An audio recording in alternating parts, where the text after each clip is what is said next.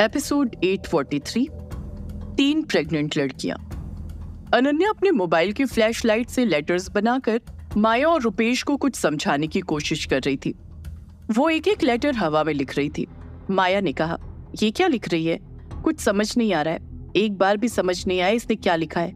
रुपेश ने कहा, मैडम, एक सेकेंड अगर आप थोड़ी देर चुप रहे तो मैं समझने की कोशिश करूँ। और फिर वो बोला, ये लेडी कहना चाहती है एल ए हाँ ये लेडी कहना चाहती है। मतलब यहाँ पर कोई लेडी है। शायद अनन्या को जिसने भी यहाँ पर बंद करके रखा है, वो कोई लेडी है। इतना कहकर रुपेश अनन्या को देखते हुए बोला, तुम रुको, हम आते हैं और तुम वहाँ से बाहर क्यों नहीं आ रही हो? अनन्या ने फिर से उसे हाथ से रोका और क्रॉस का साइन बनाया। रुपेश ने कहा, ये क्रॉस का मतलब शायद डेंजर है। यहाँ पर कुछ तो खतरा है। तभी अनन्या का मोबाइल स्विच ऑफ़ हो गया और उसने इरिटेट होकर अपने मोबाइल को पटका और अपना सर थामकर बैठ गई। माया बोली, क्या? डेंजर डेंजर मतलब? क्या कह रहे थे तुम? उसने क्रॉस बनाकर हमें बताया है कि यहाँ डेंजर है। हमें इसके आगे नहीं जाना चाहिए। हमें अनन्या को बाहर निकालने के लिए यहीं से कुछ करना होगा। माया ने कहा ओ कम ऑन रुपेश यहाँ हमारी खुद की जान फंसी हुई है। हम यहाँ से निकलने वही बहुत बड़ी बात है। हम इसे कहाँ से निकालेंगे? और वैसे भी ये हमारी कौन लगती है? ये तो बस मेरे सौतेले बेटे की गर्लफ्रेंड है। इससे मेरा क्या लेना देना? ये सुनकर रुपेश ने कहा मैडम, इस जगह पर जहाँ हम फंसे हुए हैं, यहाँ ना तो मैं आपका नौकर हूँ और ना ही आप मेरी मालकिन। इसलिए इस नाते से तो मुझे भी आपको छोड़कर अपना अलग रास्ता ढूंढ लेना चाहिए। देखिए, यहाँ पर हम सब फंसे हुए हैं और अनन्या यहाँ पर हमसे पहले से फंसी हुई है। क्या पता अगर हम इसे निकाल लेते हैं तो शायद हमारे लिए भी बाहर निकलने का कोई रास्ता मिल जाए। वरना हम कब तक यहाँ भटकते रहेंगे?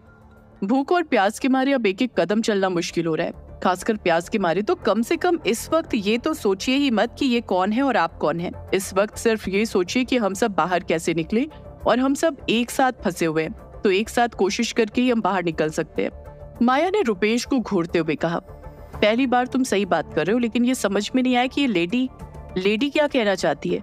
लेडी का क्या मतलब हुआ? डेंजर तो समझ गए कि यहाँ खतरा है। कहीं ये ऐसा तो नहीं कहना चाहती कि यहाँ कोई लेडी है जिसके ज़रिए इसे इस कैद से निकाला जा सकता है?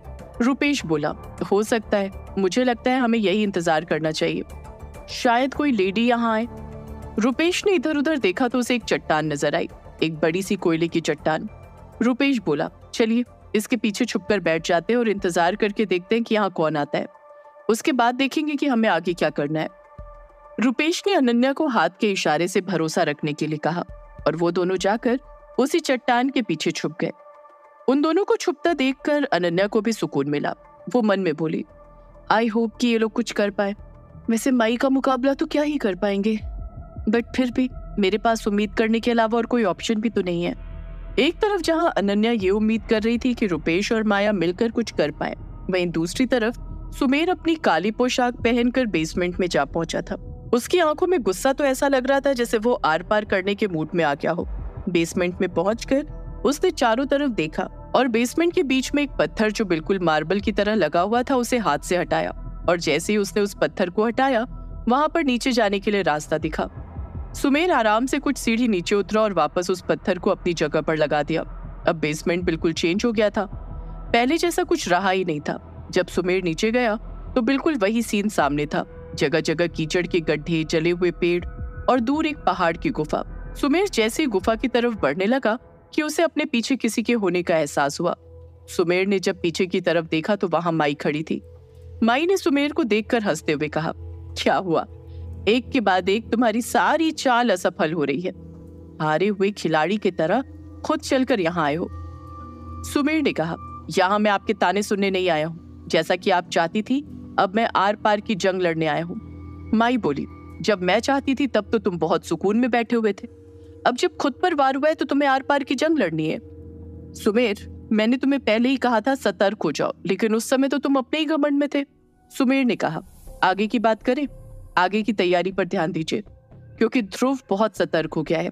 उसने आज मेरे प्रेत को नष्ट कर दिया। इसी तरह से मेरी सेना कमज़ोर होती चली जाएगी। इससे पहले कि मेरी सेना कमज़ोर हो, मैं चाहता हूँ कि मैं उन लोगों को जितना हो सके उतना उलझा सकूँ, और हम उस द्वार की तरफ़ आगे बढ़ जाएँ। माई ने आगे की तरफ़ इशारा करते हुए कहा, चलो मेरे साथ, मैं तुम्हें कुछ बताना चाहती हूँ और कुछ समझाना भी चाहती हूँ, जिससे हमारा भी काफ़ी समय बचेगा। सुमेर ने हाँ में सर हिलाया और माई के साथ उस गुफा में चला गया। सुमेर जैसे ही गुफा में गया, उसने देखा वहाँ पर कई सारी अंधेरी रोशनियाँ इधर से उधर घूम रही थी। सुमेर ने कहा, लगता है बहुत गहरी सुरक्षा है। माई बोली, करना ही पड़ेगा। अब बहुत जल्द उसके जागने का समय हो जाएगा और जब वो जाग जाएगी, तब हमारा खेल शुरू होगा। इतना कहकर माई शातिर तरीके से मुस्कुरा उठी और सुमेर के होठों पर भी मुस्कुराहट आ गई। सुमेर ने कहा, आप ये बताइए कि आपने क्या कहने के लिए मुझे यहाँ बुलाया है? आप मुझे क्या दिखाना चाहती हैं? माई ने नीचे फर्श पर बैठने का इशारा किया। सुमेर उनके साथ फर्श पर बैठ गया और माई अपने हाथ से उस फर्श पर हाथ घुमाने लगी। जैसे जैसे माई हाथ घुमाती गई, उस पर एक नक्शा जैसा बनता जा रहा था। एक गहरा नक्शा जो चमक भी रहा था। जिससे सब कुछ क्लियरली समझ में आ रहा था। सुमेर बोला, ये तो गिरपुर के महल का नक्शा है है ना? माई बोली हाँ ये उसी का नक्शा है और हम जिस दरवाजे की बात कर रहे हैं, वो दरवाज़ा हम यहीं से खोलेंगे। ये सुनकर सुमेर ने कहा, ये क्या कह रही हैं आप? आपने मुझे शामिल किया, हमने इतना सब कुछ मिलकर किया। अब आप कह रही हैं कि आप गिरपुर में वो द्वार खोलेंगी? वो द्वार तो यहाँ से खोलना चाहिए। आखिर मुझसे पूछे बिना आपने इतना बड़ा फैसला कैसे कर लिया? माई नाराज़ होती हुई बोली, यही तो तुम्हारी समस्या है सुमेर कि तुम पूरी बात नहीं सुनते हो। आधी अधूरी बात पर ही तुम कूदने लग जाते हो। अगर यहाँ पर हमने द्वार खोलने की प्रक्रिया की तो समय नष्ट होगा। तुमने एक नकली द्वार बनाया। द्वार क्या? बस माया बनाई और उसमें तुमको कितना समय लगा? तुम्हें याद है ना? ध्रुव और बाकी लोगों को भटकाने के लिए उस आग के बीच में उस द्वार का निर्माण करने में तुम्हारी कितनी शक्तियाँ लगी। तो सोचो, अगर तुम असली द्वार खोलोगे, असली द्वार को प्रकट करोगे, तब क्या होगा? इसीलिए जो प्रक्रिया सालों पहले गिरपुर में अधूरी रह गई थी। उस प्रक्रिया को अगर हम आगे बढ़ाते हैं तो हमारा समय भी बचेगा और शक्तियाँ भी। ये सुनकर सुमेर के दिमाग में भी एक आइडिया आया और उसने कहा अगर हम रातों रात यहाँ से निकलकर गायब हो जाएँ, तो ध्रुव को तो पता ही नहीं चलेगा कि हम आखिर गए कहाँ। जब तक वो कुछ सोच समझ पाएगा तब तक हमारा काम हो चुका होगा। और अगर हम यहाँ रहेंगे तो ध्रुव मुझे फंसाने की अलग अलग कोशिश करता रहेगा। तो ऐसे में मुझे लग रहा है कि आप जो कह रही हैं वो गलत नहीं है। आप सही कह रही हैं। हम इस प्लानिंग के साथ आगे बढ़ सकते हैं। माई ने कहा, बस, ठीक है फिर।